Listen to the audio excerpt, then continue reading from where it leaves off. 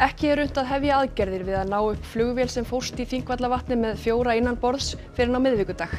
Það er bæði flókið og áhættusamt að kafa ofan í kalt vatnið, segir yfirlögregluþjónn. Búist er við aftaka veðri og ófærð um allt land aðra nótt.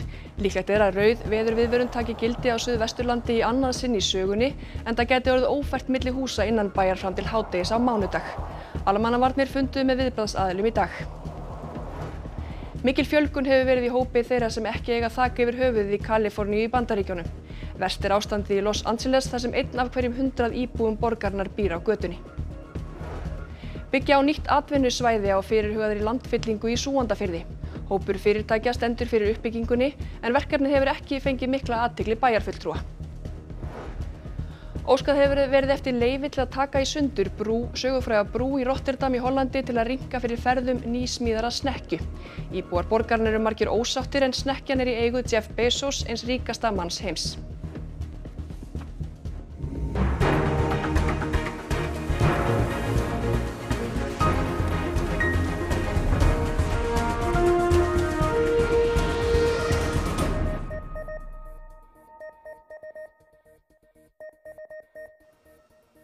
Komið þið sæl. Stemt er að því að reyna á miðvíkudag að ná upp flugvél sem fór í Þingvallavatn á fimmtudag. Já, á fimmtudag. Yfirlauglu þjótt segir margar hættur fylgja því að reyna að ná vélinu upp en hún liggur á 48 metra dýpi í mjög köldu vatni. Mikið leit var gerða flugvél með fjóra innanbors, íslenskan flugmann og þrjá erlenda ferðamenn þegar hennar var saknað á fimmtudag. Leitað var vélarinnar í og við Þingvallavatn. Það var í gær morgun sem á oljuflekki sáust hér í Ölfusvatsvík. Þá var allur þungi leitarinnar færður hingað og í gerkvöldi fannst vélinn hér. Vélinn fannst í söður hluta Þingvallavat sem um miðnætti með því að greina myndir frá könnunar kápáti. Vonsku veður var á Suðurlandi í dag og aðfaranótt mánudags á að skella á enn verra veður. Morgundagurinn er of naumur tími til að ráðast í svo flókið og vandasamt verkefni að ná flugvillin upp úr vatninu.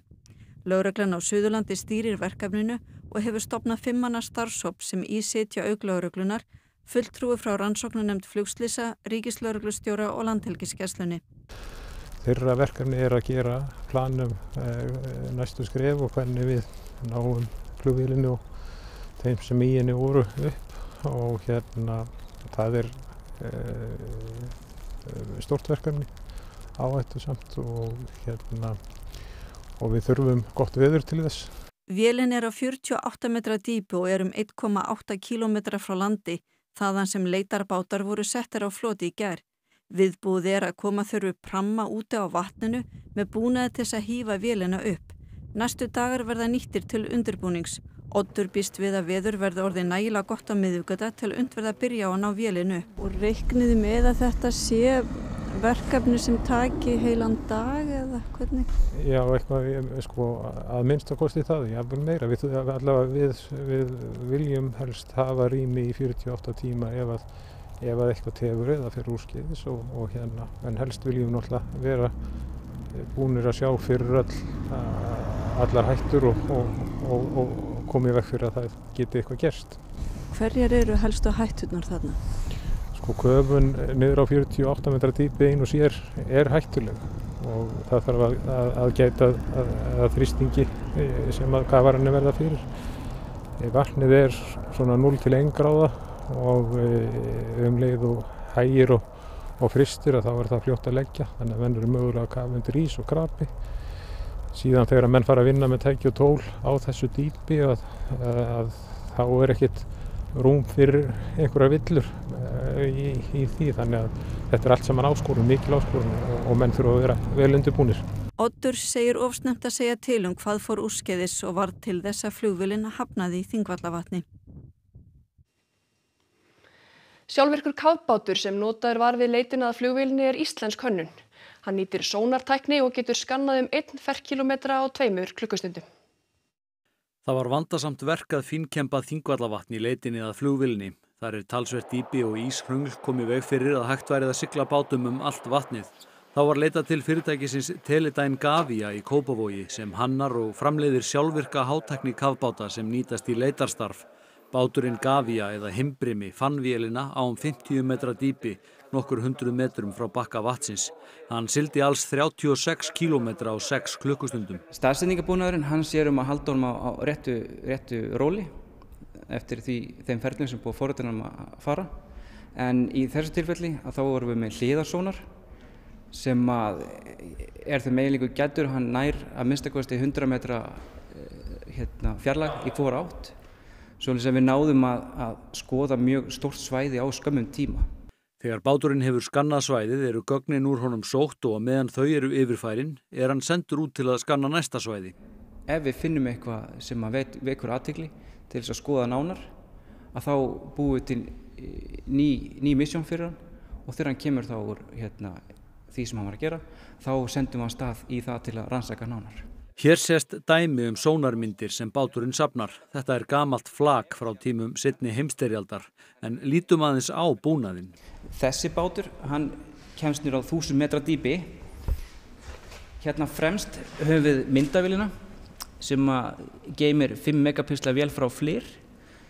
Síðan tökum við raflaðan sem gerir henni kleift að vera minnstakosti 5 tíma neðansjávar í verkefni í einu sem hægt er að skipta síðan út fyrir aðra þegar þessi er hann tóm ef þú vilt halda áfram. Því næst kemur neðansjávar staðsetningar eining sem að sér um að haldina á réttu róli neðansjávar. Því sem nást tekur við stjórneiningin. Hérna höfum við líka hliðarsónar og flass. Hérna höfum við afskapla langdraðan og öflugan hliðarsónar sem við ákvaðum að setja á gafina í þessu verkefni til þess að ná þessu uh, stóra svæði á skamum tíma.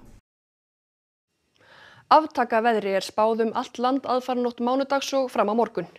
Líkur eru á að rauð veðurviðvörun taki gildi á Suðvesturlandi og svo geti farið að fólk komist ekki til vinnu fyrir en eftir háti á mánudag. Yngvar Þór Björnsson fréttamaður hefur fylst með fréttum af færðu og veðri í dag. Já Yngvar, það má segja að læðunar komi á færibandi þessa vikunar. Það má alveg segja það. Snarpur kvellur gekk við landi nú síðast í morgun með tilhörandi skafrenningi og kvassöðri og björgunarsveitir, já, syndum 30 útköllum, það sem einmitt, já, aukuminn höfðu fest bíla sína vegna ófærar og þá þurfti björgunarsveita fólk að aðstóða starfsfólk heilbriðstofnuna á Suðurlandi við að komast til vinnu og ekkert ferðaveður var á Suðvestaverulandinu og vestfjörðum og allir helstu vegir þar og í kringum höfuborgarsvæðið voru lokaðir þar á meðalum helliseiði og þrengsli en þetta veður í morgun já, verður í rauninni ekkert í líkingu við það sem við munum sjá hérna aðfarnótt mánudags. Theodor, hversu slemt verður þetta? Já, þetta var að segja það stefnir í, í mjög svo varhugavert veður hjá okkur hér þá aðfarnótt mánudags og, og í rauninni eitthvað fram eftir á mánudegi og svona sögulega séð þá er, er, er þessi læðkassi á pari við læð sem gekk hér yfir 14. februar 2020 og uh, það, var, uh, nokkuð, það var nú þó nokkuð tjóni og útköllum í, í, tengslu við þá læð. En munir er kannski sá að, að, að það er meiri úrkom og þó ofan koma í tengslu við þessa læð heldur um var 2020. Þetta gengur náttúrulega yfir uh, hér á mánundagsmorgun en viðbúið að áhrifin verði tölverð eftir að, að skilin hafa gengið yfir það, það voru að tala um færð og auðvitað verða áhrifin þannig að þegar að, að við verum í hámarki að þá getur verið fóktjón og við getum séð allslags vandræði í raunum á meðan á þessu stendur. Hér einnig Viðir Reynisson, yfirlörglu þjótt, sko almannavarnir funduðu með veðurstofinni, vegagerðinni og ýmsum fulltrúum björgunarsveita í dag. Hvers vegna er það undirbúið okkur svona snemma? Já, það er bara gott að, gott að fara yfir þetta þegar viðstofnum er búin að setja þessa viðvarnir og, og, og hérna, þetta verðist vera að ganga eftir að þá þurfum við að undirbúa okkur. Þetta mun hafa, ef eftir gengur, hafa mikla samfélagslega röskun þannig að við vorum að kalla til í dag svona þessa helstu aðili sem að hafa með fjarskipti, rávorku og samgöngur og, og síðan viðbrasaðilana og hérna, fórum vel yfir þessi mál í dag og ætlum að hittast aftur á morgun og fá þá nýjastu upplýsingar og þetta lítur allavega þannig út að, að samfélagið allt munir verði fyrir talsverði röskun í minnstakost einhverja klukkustundir á, á mándagsmorgunin og svo gengur þetta yfir all landi þannig að, að það þurfa allir að gera rástafanir með það að fylgjast með hvernig þetta verður hjá þeim og, og það verður ekkit auðvitað að komast í vinnu og meðan, þessu, meðan þessu gengur. Uh, hvernig verður skólahald? Ég held að bara allt samfélagi munir raskast verulega meðan þetta gengur yfir. Þetta er bara spurningum á hvaða tíma þetta verður, hvort að, hvort að þetta verður fyrir eða eftir, eftir að krakkar eiga að koma í skólan. Þannig að við verðum bara eins að sjá til á morgun þegar nánari tímasetninga liggja fyrir í þessu. Nákvæmlega, Víðir og Theodor, þakk ykkur fyrir að ræða við okkur og við segjum það gott í hann frá viðstofinni. Takk fyrir það Yngvar Þór Björnsson og við fylgjumst að sjálfsögðu með þessu áfram á öllum okkar miðlum en snúum okkur nú á öðrum fréttum. Þingmaður samfélkingarna segir nýtt frumvarp um alþjóðlega vernd lýsa svakalegri meðferð á fólki. Fólk sem fær sinjun verður svift framfæslu og öllum réttindum farið það ekki úr landi. Frumvarpið hefur í þrýgang verið lagt fram með breytingum en aldrei náð fram að ganga. Það er nú í samráðskátt stjórnvalda og væri fyrstu aðeins gemi vikutími til að skila umsögn og átti að renna út á morgun en að beinið Rauðakrossins var sá frestur framlegdur um viku en samtöngin telli að meiri tíma þurfi til að skoða frumvarpið og þær breytingar sem þar eru lagðar til. Með þessu frumvarpi um alþjóðlega vernd mun málaflokkurinn heyra undir tvö ráðuneyti, domsmálaráðuneyti og félagsmálaráðuneyti. Ímis nýmæli eru í frumvarpinu eins og til dæmis það að svo framfarsla réttindi og aðstóð sem fólk sem sækjur um alþjóðlega vend nýtur á meðan mál þeirra eru til meðferðar fellur niður 30 dögum eftir að endaleg sinjun likur fyrir. Segir í frumvarpinu að það skjóti skökku við ef útlendingur sem fengið hefur sinjun og neytar að hlýta ákvörðuninni njóti réttindana áfram.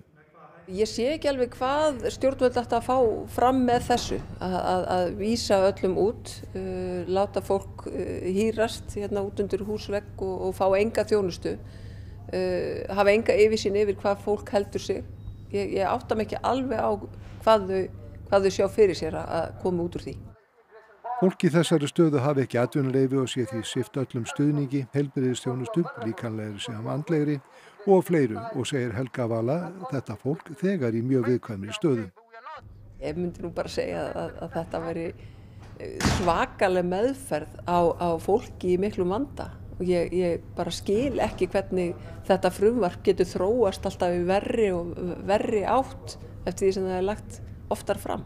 Svakvað Dyblinareglugerðin er samkómulag um að senda mig fólk tilbaka til þess lands sem það kom fyrst til innan Evrópu En Helga Vala segir að í frumvarpinu sé þetta útvikað og að leift verða að senda einni til landa þar utan og stjórnvöld hafi ekkert samkómulega gert við þau lönd. Einni sé verið að auka heimil til lakniskoðana og rannsókna. Það er verið að leifa þarna alls konar sínatökur, uh, auðvitað blóðpröfur og þess aftar en, en, en núna líka svona mannerðafræðilega rannsóknir á, á fólki. Uh, maður svona aðeins velti fyrir sér sko hvað þau ætla að ganga langt í að, að ganga á þetta, hérna, þennan, þennan rétt einstaklinga til þess að hafna slíkum aðgerðum. Uh, mér finnst þetta óhugnalegt, mér finnst við vera að stefna í áttað einhverju, einhverju uh, samfélagi sem ég vil ekki kannast við. Einna hverjum hundrað íbúum bandarísku borgarna Los Angeles býr á götunni. Það hefur fjölgað mikið þeirra röðum undanfærin ár, meðal annars vegna kórnuveiru faraldusins. Los Angeles er eina af tíu dýrustu borgum heims þegar hortið til fermetraverðs. You have uh, the rich and famous and then you got the poor and unfortunate. You know what I'm saying? You got the walk of fame up in Hollywood and you got the walk of shame down here. Um fjórar miljónir búa í Los Angeles, þar að veru um 40.000 íbúar heimilislausir. Það er um einna hverjum hundrað íbúum borgarinnar. So you could see here would be an entrance um, and people would take off and then climb inside and actually live inside. The problem was is that there's a lot of noxious chemicals that are inside and uh, every year there'd be at least a dozen people that would die uh, staying inside there. Ráðist hefur verið í byggingu ímiskonar hýsa fyrir heimilislausa víða um Kaliforníu. Víða í ríkinu fjölgar sömuleiðis í röðum heimilislausa þó ástandi sé vest í Los Angeles. Ríkistjóri Kaliforníu, Gavin Newsom, hefur heitið auknu fjármagni til að hjálpa þeim sem eiga hvergi höfði sína þalla. Samhliða framkvæmdunum fjölgar þú enn í röðum þeirra sem af einhverjum ástöðum búa á götunni.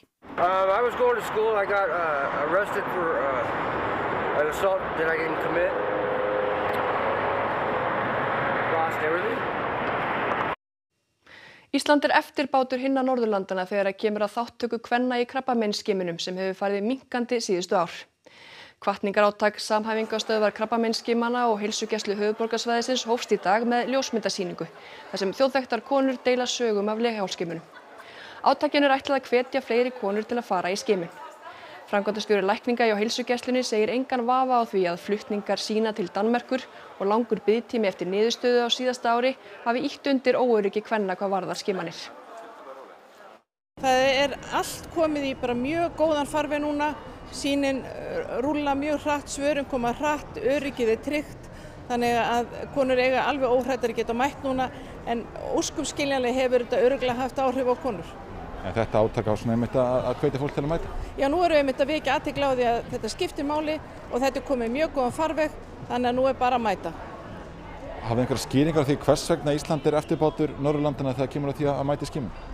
Nei, kannski bara höfum við ekki stað okkur nú vel í að upplýsa konunnar, þannig að nú erum við að því.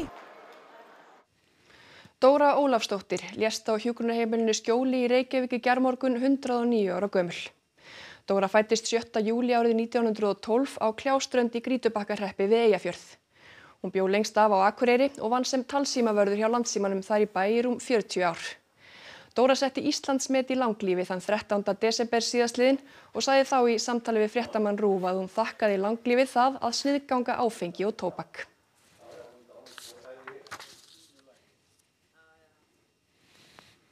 Íbúar í Rotterdam í Hollandi eru margir hverjir uggandi yfir því að skipasmíðafyrirtæki hafi sótt um leifi til að taka í sundur sögufræga brú í borginni. Það á að gera til að koma snekju eins ríkasta manns heims út á Norðursjó. Brúin heitir Koningshefe en er kölluti hef, likur yfir Masána og var fyrst tekin í nótkun árið 1927. Miklum endurbótum á henni lauk 2017. Það er hægt að hækka miðju brúarinnar til að hleypa skipum í gegn en ekki nógu hátt fyrir snekju sem verið er að smíða þar nálagt og sögður í eigu Jeff Bezos sem stopnaði Amazon netverslunarísan. If it was just anybody, but this is the world's richest man that evades taxes and wants to mess with our monument. That's just not okay. Onzin natuurlijk, hè. Waarom? Nou, maar voor, voor ons zouden ze dat niet doen, gewone mensen. Ongelooflijk. Ik dacht eerst aan de 1 april grap, eerlijk gezegd. Skipasmíðastöðin hefur farið þess að leitu borgarífurvöld að miðstykki brúarinnar verði tekið af tímabundið svo sigla með í snekkinu þaðan og út á Norðursjó. Í vikunni bárust þær fregnir að leifið væri í höfn. Borgarífurvöld hafa nú líst í yfir að ákvörðun hafi ekki verið tekin. Ja, ik, ik vind het prima. Laat die Bezos maar goed voor betalen. Dat geeft arbeidskrachten. Uh, ik bedoel, ik zie alleen maar voordelen. Sveitafélagi einu í norðurhluta Spánar getur nú sótt um alltaf 8 klukkustunda leifi á launum í hverju mánuði þegar það er á blæðingum. Skiptar skoðanir eru um fyrirkomulagi sem borgar yfirvöld vonast til að skapi betra vinnu um hverju. Lo que pasa que al final aguanté, pero sí que es verdad que alguna vez que tienes muchos dolores, incluso pues tomándote alguna medicina, a veces es casi imposible y sí, sí, si algún día lo tengo que hacer, lo haré. Artíkas er einn þeirra borgarstarfsmanna sem hafa nýtt sér rétt til að taka alltaf 8 klukkustundar leifi frá störfum í hverju mánuði vegna túrverkja. Fyrirkomulagi var samþygt í borgarstjórn Girona í fyrra og er ætlað að skapa betra vinnu um hverfi. Tú no haces el mismo trabajo cuando te encuentras mal que cuando estás en buenas condiciones. Eso es lo que intentamos hacer y también para el bien de la mujer, porque no es lo mismo estar trabajando así pero que no te aguantas que ponerte a trabajar en todas las condiciones y, y, concentrado en lo que estás haciendo. Sobre todo hombres ¿no? que no tienen esos dolores o que no entienden que, que podamos llegar a tener unos cólicos muy fuertes y entiendo que habrá gente que, que, que piense que, que sí, que es desigual. Skiptar eru meðal íbúa borgarnar um ágæti þessa fyrirkomulegs. ¿Qué opinas del permiso menstrual aquí en el ayuntamiento? Cuando uno se levanta que tiene mala mañana, la cabeza no te va bien, tienes que venir a trabajar. No hay regla menstrual para los hombres. ¿no? no me vendría nada mal un día no venir a trabajar por la regla, o sea, pero día justificado, o sea, en plan que lo paguen ese día también.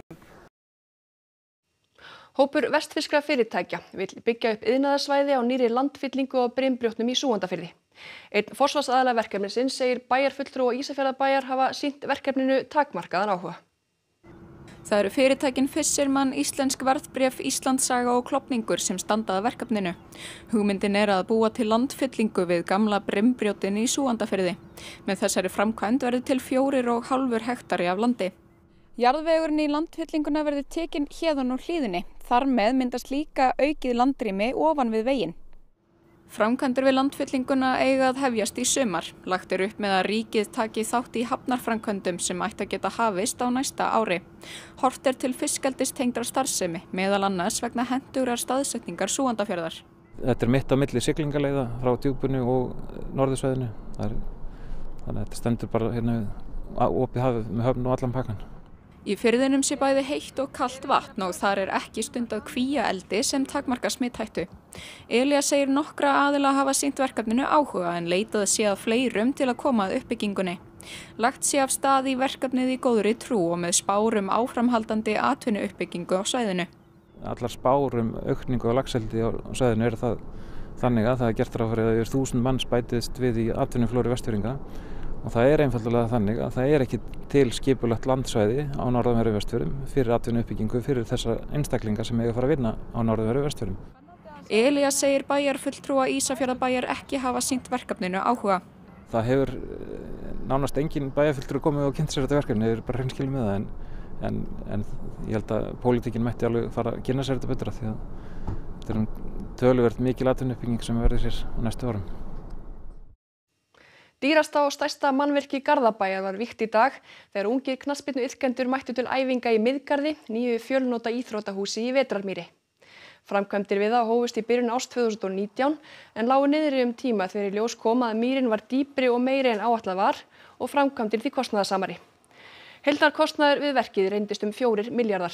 Í miðgarði er knaspinu völlur í fullri stærð og rými fyrir annars konar íþróttaiðkun. Bæjarstjóri Garðabæjar segir mannvirki breyta heilmiklu fyrir íþróttastarfi í bænum. Og við erum svo heppin að fá svona vond veður í, í, í dag sem að, sem að þetta undistrykka mikilvægi þess að hafa hér aðstöðu, bestu aðstöðu til að æfa sig og, og þá leggjum við grunninn vonandi að mörgum sigurum og eins eh, vil ég meina það að svona hús er tákn fyrir bæði kærleik og vináttu og reyfingu og þannig viljum við hafa starfsemanna hérna innandýra. Þannig að við erum að bæta hér uppeldi skiliri, barna og ungmenna í Garðabæ og þess vegna fyrir alla aldursópa. Og það passar líklega vel eftir umfjöldunum nýtt íþróttamannvirkið að komast að því hvað, hvað ber hæst í íþróttum hér á eftir en það er Þorkell Gunnar Sigurbjörnsson sem heldur utanum íþróttafréttir kvöldsins. Skíðakappinn Sturla Snær Snorarsson, einn af íslensku olimpíuförunum, er komin í einangrun í Kína eftir að hafa smittast af COVID. Fjölmörk verðlaun unnust á þessum fyrsta keppnistegi vetrar olimpíuleikana. Spenna og frábær tilþrif sáust. Kæft var í crossfit á alþjóðlugu Reykjavíkuleikonum í dag og í Kílu í gerðkvöld. Við í ennsku úrvalsteldinni lendu sum í miklu brasi í ennsku byggarkeppni fótbolta. Þetta og fleira í Íþróttum hér eftir fréttir. Þá skulum við fara yfir hvað var helst í þessum fréttatíma.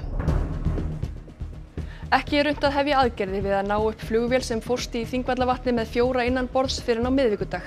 Það er bæði flókið og áhættu samt að kafa ofan í kallt vatni, segir yfirlaurugluþjótt. Búist ef aftaka veðri og ófærðum allt land aðra nótt. Líklegt er að rauð veðurviðvörun taki gildi á Suðvesturlandi í annað sinn í sögunni en það geti orðið ófært milli húsa innan bæjar fram til hádegis á mánudag. Almannavarnir fundu með viðbráðsaðilum í dag. Mikil fjölgun hefur verið í hópi þeirra sem ekki eiga þak yfir höfuðið í Kaliforníu í Bandaríkjunum. Verst er ástandi í Los Angeles þar sem einna hverjum hundrað íbúum borgarnar býr á götunni. Óskað hefur verið eftir leifi til að taka í sundur sögufræga brú í Rotterdam í Hollandi til að rýmka fyrir ferðum nýsmíðara snekkju. Íbúar borgarnar eru margir ósáttir en snekkjan er eigu Jeff Bezos eins ríkasta manns heims. Og þar með líkur þessum fréttatíma. Takk fyrir samfélgina, verið sæl og njótið kvöldsins.